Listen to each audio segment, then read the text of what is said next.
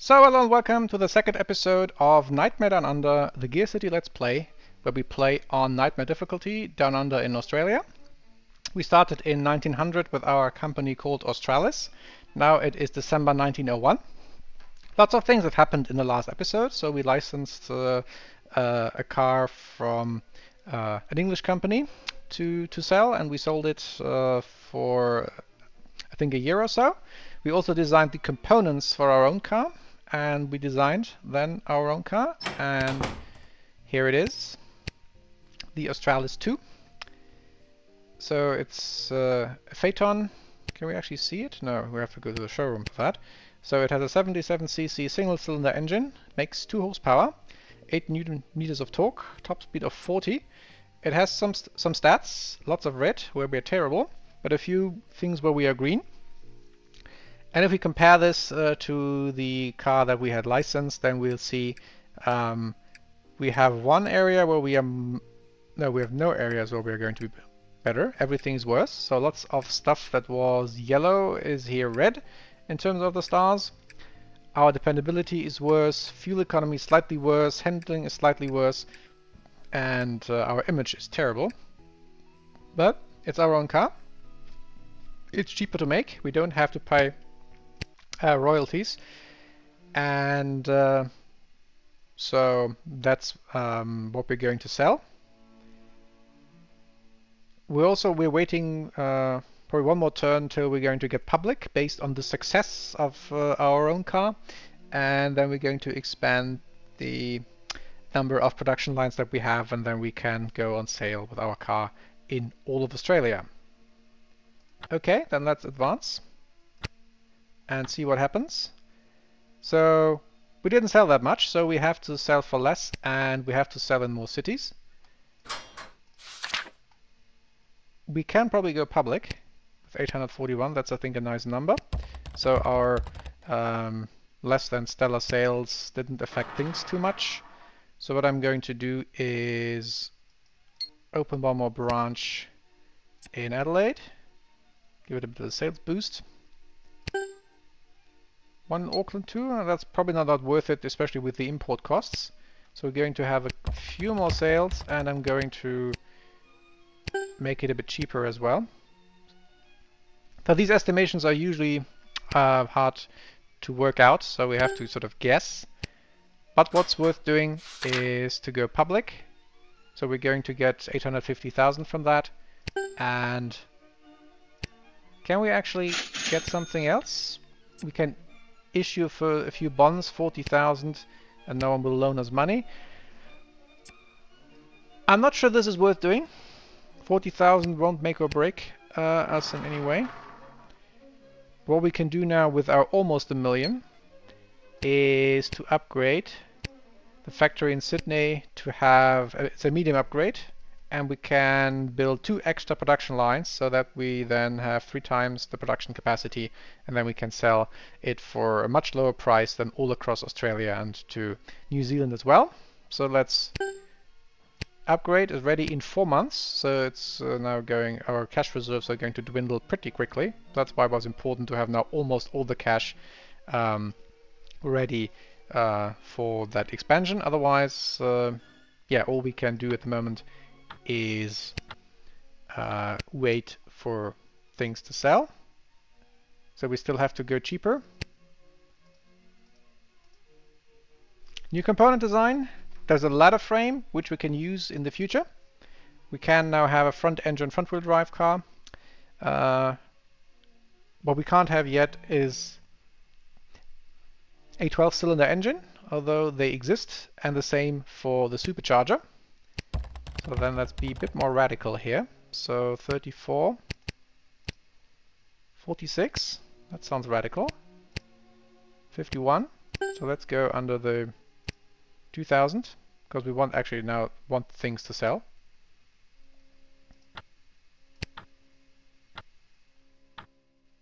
Yep, so that's that's better we've almost sell, sold everything. So what we can do now is expand uh, to Sydney, uh, to um, Perth and Auckland as well, and then our um, sales will be pushed um, beyond uh, what we can produce, so that we're selling off our reserves. So even though it's a tiny town, still worth worth doing. We can also put some, or should put some marketing on there, even though just to be realistic. Doesn't affect much at this point, but we of course would do that so that we now have newspaper ads in all our cities. We have the factory upgrade in two months. Yeah, bit of a dip in sales, so let's uh, go a bit lower still. So one month till Sydney is done. So we're now in the red, 115.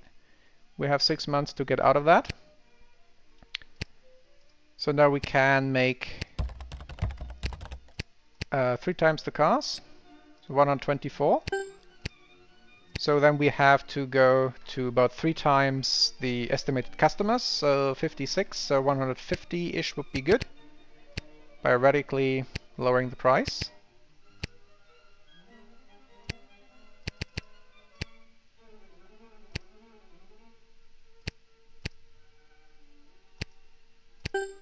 I'm going down to this. It's not it doesn't show in the estimations, but my gut feeling is this is already too cheap from what I understand in terms of the game. Let's see how good the gut feeling is after all.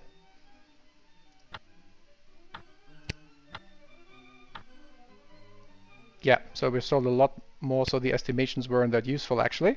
We still have a positive cash flow, so we're digging ourselves out of the hole. We can now make four speed gearboxes, and there's a contract for a Sydney commercial fleet.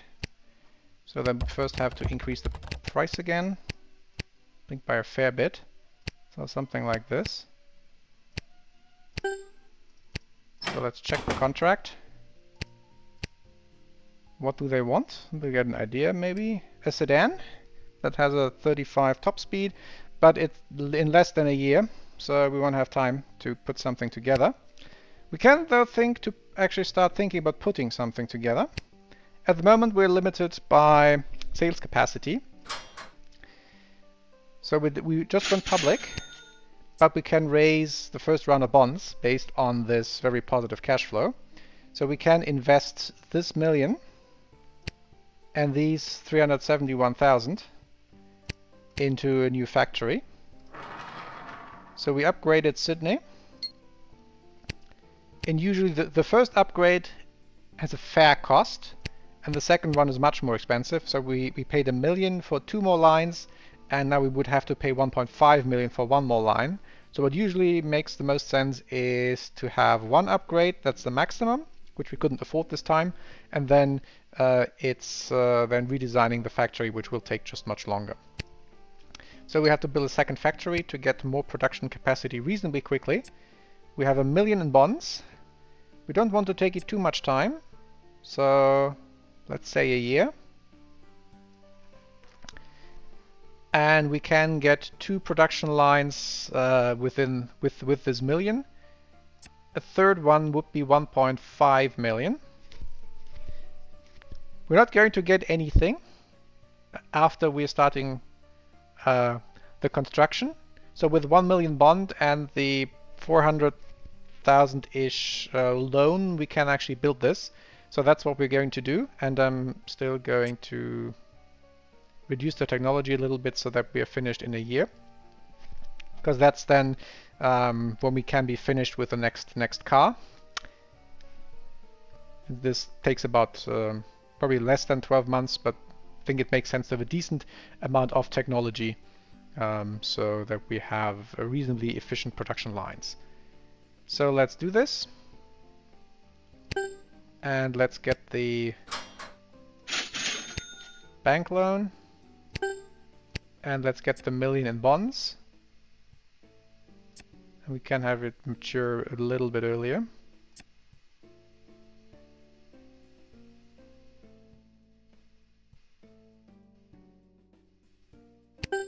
So that should be that the, that should be sufficient to cover the cost for the factory and the new car. So what would be the next thing to develop? So we have a Phaeton, that's fine. Next one would be the sedan. So sedans back then is basically the same that what we are now. So cars with uh, two rows of seats and a roof. We don't have anything with a roof yet, but also we won't fit two rows of seats and an engine onto the very small wheelbase car that we have. In pure game mechanics terms, we could simply design a sedan on our 1.9 meter wheelbase chassis, but I'm um, not going that route uh, with this break from reality. So what we're going to design instead is a coupe. And again, the term back then basically is about the same thing that it is now. So it's a hardtop two-door vehicle with a single row of seats. So we could make a case, we simply use our Phaeton and put uh, a box on it instead of just uh, a place where you can sit and a steering wheel. Um, they like performance and handling, but now uh, at this point in time, they simply have to get. Uh, they're happy. They, I should be happy to get something with a roof over the head, uh, which is going to be more expensive. And um, again, no competition helps. So 1.9 meter wheelbase, existing engine, which will have to work hard to make the box move and our existing gearbox uh, without a reverse gear. So you can use the same body in game as for the Phaeton, but that doesn't make sense. So it's rather something like this. So in terms of wheelbase, you could make the case it's the same wheelbase as these, uh, just as with a box over it. And there are a couple of others. So this one, this one, these ones, or this one. So let's go for Let's check what the difference. So cargo 590 liters, drag coefficient 88. 612 is a bit better. The top speed 33. I think that could that could be actually an issue. Top speed 33 is the top speed too low. Also 33. 34. So this has of course the, the smallest cargo space because it's lower. And it probably lo it looks a bit like a toy car almost, although you could say maybe they, they sit a bit lower. So these have all 33, this one has 34. And the wheelbase is, I think, roughly the same.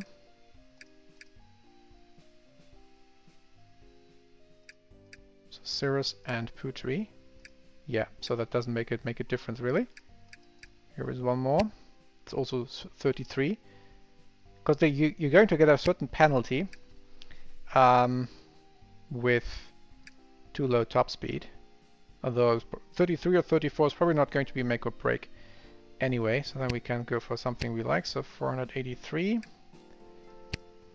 446, so the other one is better. And here was, this is probably even worse in terms of top speed, not also 33. So let's... I know what, it doesn't, it doesn't really matter at this point, since we don't, don't have competition, so let's go with this and have some room uh, for future improvement. Are the other ones narrower, maybe, because this looks a bit wide. So that's the other sort of break from reality, um, but these are all pretty wide, I think. Yeah, I think basically the same same model.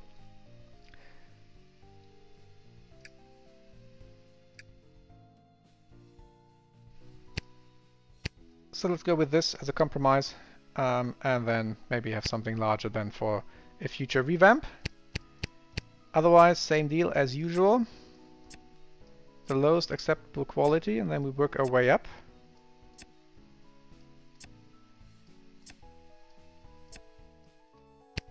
Again, male clientele.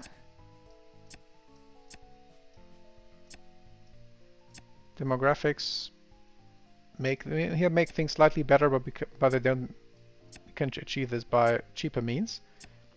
So what do they like? They like performance. So handling. So we go with this.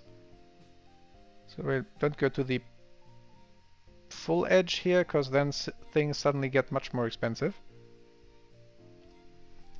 Think they should like reliability, and often they do. Yes. 30, 20, 22, 30. Cargo is not that important. Oh, a little bit does the trick. So utility here. More? Nope. Comfort? Nope. Safety? No. they don't want safety. They're probably just happy to have a roof over their heads when they are driving. This is also too expensive. So I think that's it. 561 takes 9 months. Factory is ready in 12, so we can adjust that, making things cheaper again. So 100,000, uh, that's certainly worth doing. And so it's $60 more expensive to make because it has a roof. And otherwise, uh, yeah, it's going to probably going to be equally terrible. But again, it's learning by doing, and we're going to get better just uh, by improving. And we get a top speed of 34, so that's great. So then let's build this um, coupe, and it's a two, but with a coupe body. And that's another thing that I think was common back then, so that you had your chassis and then you could build all sorts of bodies on top of that. So we're just going to do that and uh, taking our sweet time in the process.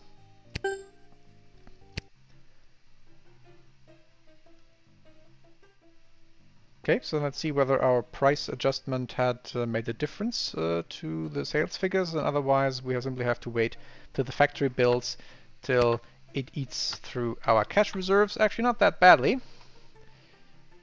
So missed sales 9, so we can make slightly more expensive. So I think we have found a nice sweet spot in terms of sales numbers. Okay, so now we're getting the warning, but now we sold a lot less. So here's here seems to be a point where things break. Ah, we're getting a price gouging penalty since our car is cheap to make. So that makes a difference. And now it's gone. So that was exactly that uh, certain kind of threshold so the so the material costs are 508. Manufacturing costs, uh, so including the factory stuff, uh, 736. Total unit costs, including all other overhead, 1303. And then uh, once we're going vastly above that, then there's a sort of artificial penalty uh, applied in game, and we just fell victim of that. Not anymore, so we're slowly selling off our reserves, so it wasn't actually that bad. Um, and Cash stays reasonably constant, so we don't, but still going on for nine more months, so it will still be something like 500,000 less. And we don't have to ride the edge here uh, in terms of using up all our cash. Another nice side effect of having no competition. Otherwise, all we can do is wait, so things sell off. Factory is in the works, the coupe is in the works, so first year's over. Two new contract requests, Brisbane and Auckland Business Fleet. Let's check what they want. We win the best car of the year, best Phaeton of the year, but it's the only car in Australia, so of course. Um, there is a race somewhere over in Europe, far, far away from us, because there were no flights or anything back then, and I think a journey to Europe would have taken three weeks or so. So Sales dropped again, probably again price gouging penalty? No, just did. No idea why, so make it fair amount of cheaper so that we don't run into this issue again. Yeah, that works. So we sold a thousand vehicle in the first year. There is now the W engine, we can't build one yet. Not sure we ever want to. So some of the contracts are aircraft engines and marine engines. So, so these odd engine types maybe for those. And six-speed gearbox, but of course um, we can't build that yet. A new Phaeton body. What we can do, just for fun, is check um, did we make the top 50 of sales? Nope, we didn't. How are we in terms of companies? So the biggest company had um, or the biggest companies had around uh, 12,000 and then 10,000 last year, and we had just 1,000. So we are here among the smaller car manufacturers. Everything else is ready in 4. Reserves are selling off nicely. We can now make a rotary engine. Probably not sure we want to. So our cash reserves are slowly but surely dwindling, but we're also selling stuff quite nicely. So maybe increase price a little bit. Yep, that's still fine. One month till our coupe is ready and the factory is ready and we'll still have something like 350,000 in the bank. So that's awesome. So 138 sales, so we have missed sales. So research complete, factory construction complete, some more contracts. So what we can do now, we can in Melbourne produce a few more Phaetons, so sell 55 more. So maybe something like this. And use the other production lines to make the coupe. So I want to sell 115. And it should be more expensive than the Phaeton, of course, because it has a roof. So here is 27, so this is 30, 60, 90. That's probably too much even, but let's see. Uh, the uh, other estimations weren't that great either. So at the moment we can raise bonds, but not many, since we had a negative cash flow from all those uh, activities of building a new factory. So we have to make one, one month of sales. Now we have positive cash flow again. We can uh, sell our Phaeton for less and we also have to make our uh, coupe cheaper. But at least we have positive cash flow and I think that's important for getting a bond. So something like this, maybe.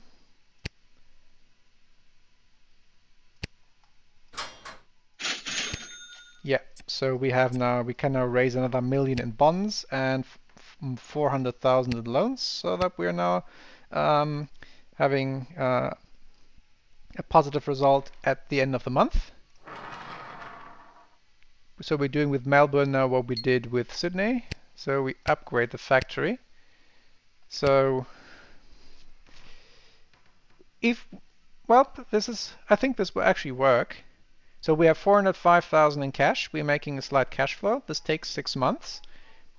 We can get 1 million from bonds. We can get 400,000 from the bank. And we have 400,000 uh, as our own cash reserve. So we can afford um, upgrading Melbourne uh, with four more lines. And I think we should do that and then we can make things reasonably cheap and sell uh, uh, cars in a fair amount of um, numbers. And it's usually most if uh, most cost efficient to have the maximum upgrade. So that's uh, then worth doing. And let's get the bonds. Yeah, they can be mature in 1911, that's fine. Let's get the loan. So we only have to make uh, 200,000 in uh, six months, and that should work with uh, our, our, reduced uh, prices. So then we then we can ask ourselves next car. And we had looked about that earlier. So next highest demand is a regular sedan, but that needs a larger wheelbase. So we're going to design something new again. And now we have the option for a ladder frame, which was common in the early days of the automobile. It's a strong and cheap solution, but they lack handling performance. So if we compare them to the carriage frame, they're much better. Slightly more expensive, but definitely worth it. Can now have the uh, front engine front wheel drive, which is cheaper than a little bit cheaper than front engine rear wheel drive, but also much worse. So we stay with the traditional layout, front engine rear wheel drive, and um, we stick with two live axles with leaf springs. So independent front suspension wasn't, I think, uh, sort of common till the 1920s, maybe the 1930s even, depending on the manufacturer. So wheelbase, what do we want for a sedan? That's not too large, 2.4 meters. Track width, so make it a bit wider. Frame height does strength, but the but the new ladder frame is all about strength anyway, so we can uh, keep that actually quite low. What we actually should do is start with an engine, that we know how to large how to large uh, the engine bay needs to be. So let's design an engine. We can now design a straight engine, so not just single cylinder rotary layout or an electric engine, which is of course very expensive um, and very heavy, and no one wants that. So straight engine, two cylinders are fine. Double the amount what we have. We go with gasoline, flathead, no two strokes, and stay naturally aspirated. So what a displacement should be aimed for? It means which power output should we aim for. So let's first set the rest of the sliders. So we make it longer, wider, heavier. Here we reduce things again because we want to need to keep it cheap as well. Because on performance doesn't do much in these olden days anyway. Dependability is actually not the worst thing to do, at least here it doesn't affect uh, the manufacturing uh, requirements. And we can go for some revs and some torque, which is probably even more important. So what do we have at the moment? Two. They were okay. So maybe go for double? The, double the power?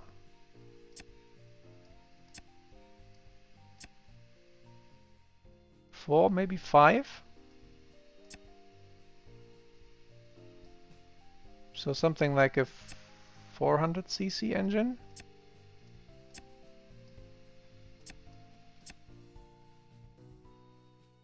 This is square. So under square is usually pretty useful in these old uh, times due to the extra torque. So 528. Always like it when it flips both torque and horsepower here. I don't have to have the extra material quality, so two, two cylinder engine is much much smoother than a single cylinder engine since there is at least some counterbalance. It's not perfectly balanced, uh, not not by far, but it's simply better than having one cylinder going about uh, on its on its own. So that makes sense. What do they value in sedans? So they like safety, they like fuel economy. So that's maybe something we also should invest some extra effort into. So let's go back to 528 and increase fuel economy. So 527, how much extra would we have to? 525, 527, but here we're going going to be quite expensive.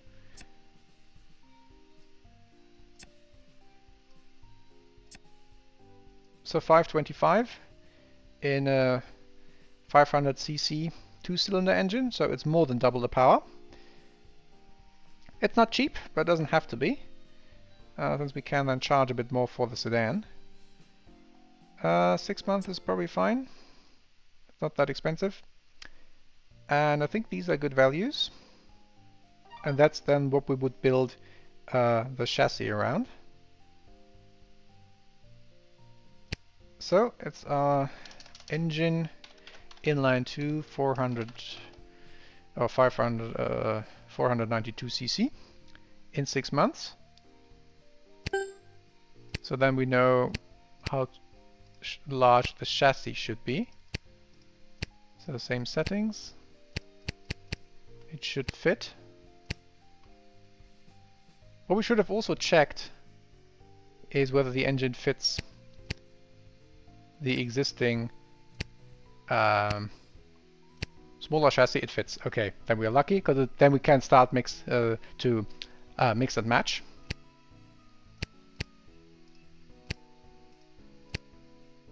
Oh, front rear, leaf spring, leaf spring. So making engine fit shouldn't be any issue. So 2.4 meters wheelbase for our sedan, a bit narrower but also a bit wider than we had short, narrow engine bay, everything else. Start again with low settings and then work our way up. And we stay within the six months without too many uh, development costs. So do, uh, since we're going to be limited by the production capacity again, because we have to now uh, redesign a factory. Also borrow some lines from our other cars to make the sedan. And keeping durability low here due to keeping the manufacturing requirements low. And braking is useful to simply go to, to maximum with. So how, how to balance performance and handling and comfort. So they want both. So luxury, performance and handling. So we can aim to keep comfort and performance equal. So similar to what we did for the Phaeton. So again, stability trades a bit of performance for a lot of comfort. And then we compensate for more comfort. And that we... So here we're having a... We're running into the seven months time. So this looks, I think, quite nice. This is not too expensive, even going to the, to the right here. And then we have equal emphasis on comfort and performance. Uh, so that's basically what uh, the buyers of a sedan want. And if we were to increase this further, then we are quickly running into seven months, which we don't want. So we keep the project cost reasonable. Okay, this looks nice. So then let's have our 240 meter wheelbase. It's our first ladder frame. And gearbox. So we had a two, uh, two speed. Let's just make the same again. So I can go and redesign, which is not a redesign, it simply opens uh, the editor here with um, the same settings. We add a reverse gear because the sedan is going to be a bit heavier than what we have at the moment. So we can actually check. So this is over a ton. These are usually very conservative. So this says 1.3 tons, 1.4 almost. Uh, probably going to be ending up more like around 1.1 or 1.2. But anyway. So here having a reverse gear makes sense. So then let's calibrate top speed. So 40 regardless of car body. 41.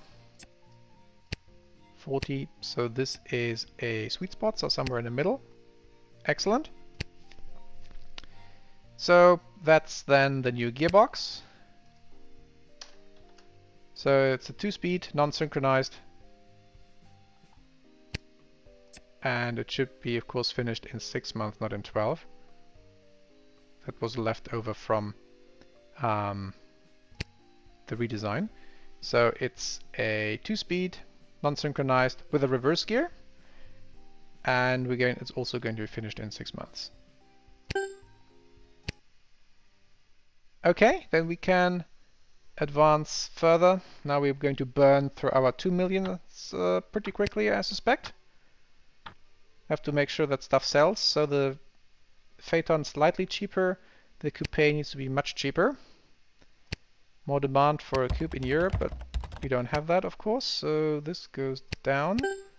We get a penalty here? Ah, we're getting low engine smoothness penalties due to the single cylinder, so that's why we sort of have to um, sell it for much less, since the things are penalized.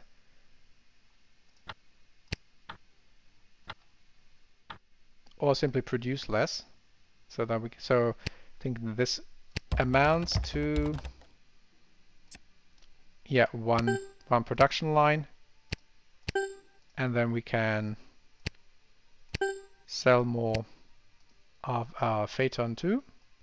So this wasn't the best decision to make the uh, coupe due to the penalty in terms of um, engine smoothness, and that's the downside of the single cylinder. But anyway, still going to make a nice profit on those. Yeah, so this works. So we sell 234 Phaetons and the coupe say we sell slightly more with plenty of reserves to, to sell off. So that's uh, now I think stable. And no one cares about having a roof. They rather uh, want to have um, a smooth engine than a roof over the head. Let's just see what the press says about the 2 Coupe. So the competition has gotten a little bit more heated. Well, not here, since we're the only ones. And um, the reviewer is happy for the coffee that they got because it's a real sleeper. It will put you to sleep uh, with uh, 2 horsepower and a top speed of 34. At least we didn't get the top speed penalty. And also it can uh, an appalling uh, torque. Borderline acceptable handling qualities for a, a coupe. It lacks the basic features you expect in a toy car. It has plenty of space, at least something. Stuff still falls off on the dashboard and it's one of the worst vehicles on the market. We should be ashamed of releasing such garbage and immediately recall all models. But they love the fuel economy. We still don't value uh, the health or the life of our customers. Um, but it's the best coupe they've ever driven, probably, because it's the only one you'll have ever driven if you are in Australia, so that works. Okay, sales are now nicely stable. Can probably increase the price for the Phaeton slightly. Since we are selling off reserves, so yeah, so basically have to throw uh, the coupe away and people still want to buy Phaetons. Burning through our cash, but not too quickly. Okay, we can reduce the price again. Um, cause we're selling, uh, we're now making more than we can sell. New contract requests, award best cars of the year ended funding for a race which we didn't take place in, two more racing series somewhere in faraway countries, more competition but not here. So next month we're going to get the Melbourne upgrade so that we can sell our Phaeton for even less. Can probably start preparing for that. And we can also start developing the sedan. Okay, we're now in, in the red again but that shouldn't be too much of a, of a, of a deal since the production ended. And this looks fine. Factory upgrade complete.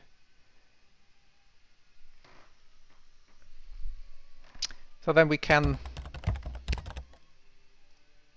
So if we make thing... If we have... So we're actually starting out to something like the middle class already. So we wouldn't have actually needed the addition, additional production capacity, but I didn't expect that we would sell so little of the of these coupes. Um, so 47, if I increase price dramatically, 55, that doesn't really change things that much. How about here? 148, 155 doesn't do that much either. 180, ah, okay, here is just a missing missing bar of those.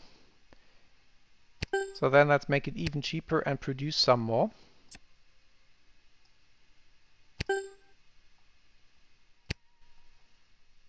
And while we do that and have some time to play around with that, we now can design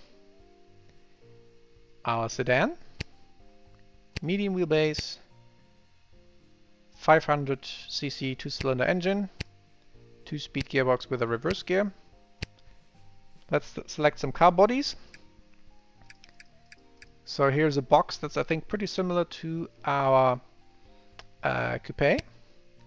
935. We don't need that much space in front. 855, so this one is better, although this one has two doors. Let's assume our sedan has four. So 855. These are probably more like full-size versions. 919, this I think looks pretty good. Fancy roof.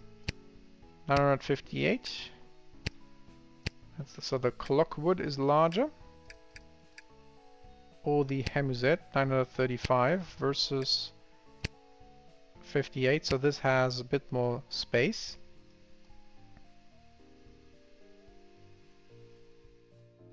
Yeah, so then this is it. This is our sedan.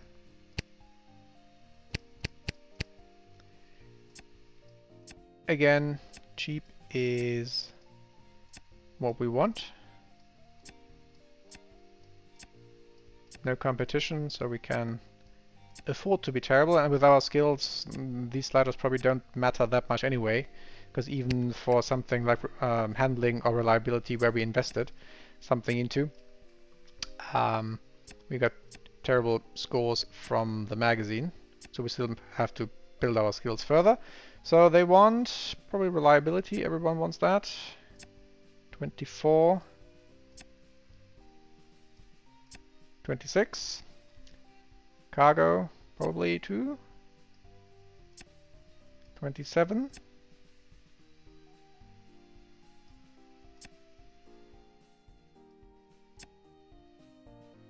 But not that much. I suspect they want safety, yes. 28.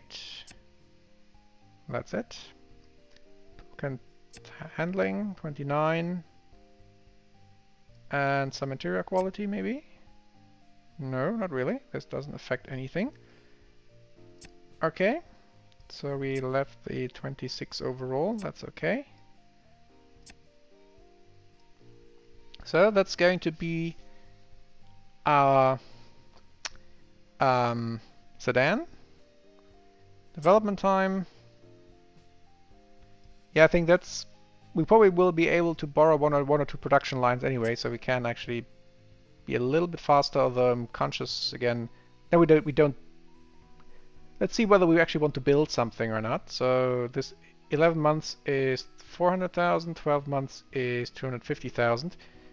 I think another month or so doesn't make or break anything. So let's go with this. And this is more expensive in terms of material cost than what we have. So yeah, 200 more, so this is definitely more, more upscale. So let's put the sedan into production. What's the name?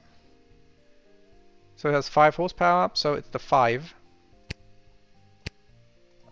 Oh, it's a 5 sedan.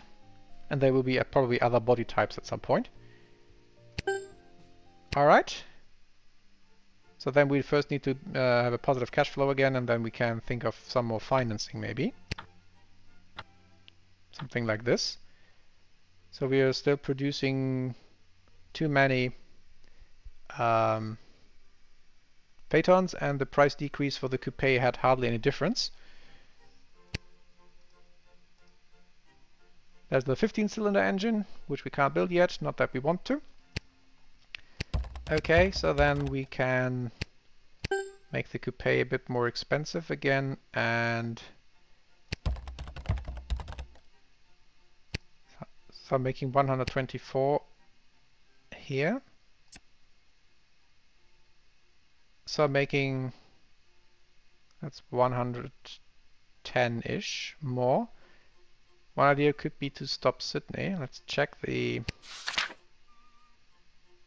factory operating costs. Yeah, Sydney is much more expensive than Melbourne to produce in. So what we can think of, simply saying Sydney for the time being, going to shut that down. Build 335 um, and I don't need that many actually. Maybe one less here. And then once we get our sedan, we're going to put that into production in Sydney. How about some bonds? We can raise bonds, a million. And we can get a back loan, bank loan of 450,000. So if we ever want to put more into production, so Melbourne had now the big upgrade, seven lines is fine, and for a pretty decent uh, unit cost, so 176, whereas Sydney is much more expensive and has three lines. So what we need to do next is to redesign Sydney. So three lines with um, decent technology. Four lines. So we can get 1.5 um, from bonds and loans. And this takes uh, 1.5 years, so 18 months, bit a bit more. So cash flow 26, but probably a bit more. Times 18, let's say, times 20 is 500,000. So we can go, we can probably get away with something like this. so that we get five lines in Sydney. So that we'll have 1 million from bonds, 1.5 oh, plus 0.5 from loans, and then we'll make we need to make 500,000 uh, until then. We also will have the sedan to put into production by then. That's some extra uh, money, and I think that's something we'll be able to do. So, and it's also a bit longer than um, 1.5 years. So this is now um, 19, 19 months? No, uh, 17 months. Yeah. So that's something we should be able to afford. And let's redesign Sydney. Let's get 1 million of bonds, make it mature 1913 so that they don't become due all the time, uh, all at the same time. And let's get the loan. In 16 months, we also stop. Uh, I have to stop paying for one of those loans, but that's okay. All right, so we have some cash that we can now burn through and we have to make up some for some shortfall through car sales, but we should be able to do that. Sedan is in the works and factory redesign is in the works. So yeah, so we're still selling off uh, sedans and the price increase hasn't really made a difference. We still have produced too many Phaetons, so here the price decrease hasn't affected anything. So could pay a little bit more expensive. So if we take the price um, development, so yeah, let's give it two clicks. Three clicks more, and then probably one less. And we only have to make 280.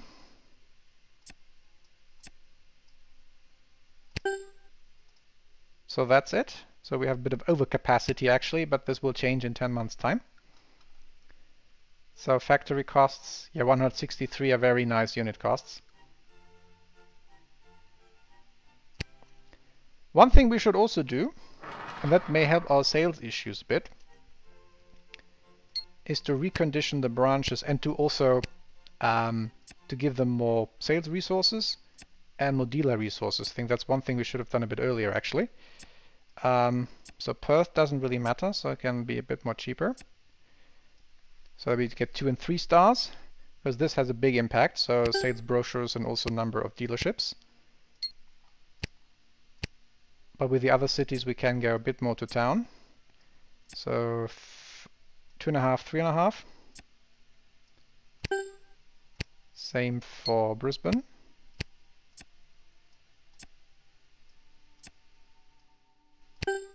The extra cost isn't that much, but the effect is disproportional as we would expect if you just uh, have a few more salespeople and print some more brochures, that will have a big effect on things. Uh, it's not that expensive. And then Melbourne, one of two biggest cities, we're going for four stars in sales efficiency and three stars in dealership growth.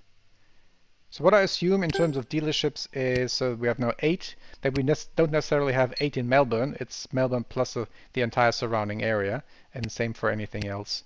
So that's why these numbers, uh, well, that's the way how I make sense of these numbers for myself. So this should have a big effect on things. We have plenty of reserves, so that should uh, not lead to missed sales. And let's see what this effect is. Yeah, so now we're selling plenty of coupes and plenty of phaetons. That's much better. So we need 360 phaetons.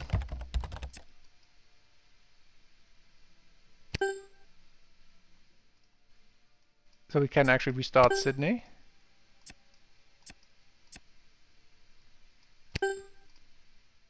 And we need uh, 100, a bit less coupes. Yeah, so that's fine. Once the sedan comes online in nine months, uh, then we'll have to uh, increase the price of the Phaeton a bit. Maybe we can stock up on uh, some reserves. So that's worth it.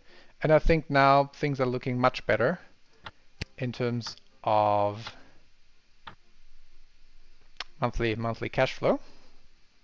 So we're actually selling 102 coupees. So let's build some uh, reserves of those as well. And despite our building activity, uh, we have a, just a slightly negative cash flow.